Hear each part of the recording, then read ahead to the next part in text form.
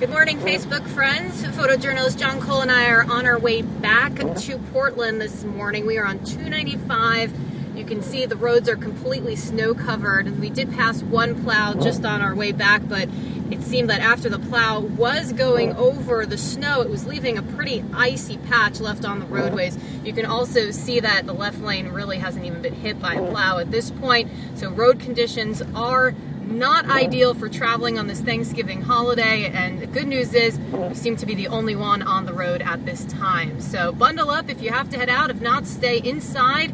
Enjoy the snow from the indoors and stay safe. For News 8, I'm meteorologist Mallory Brooke.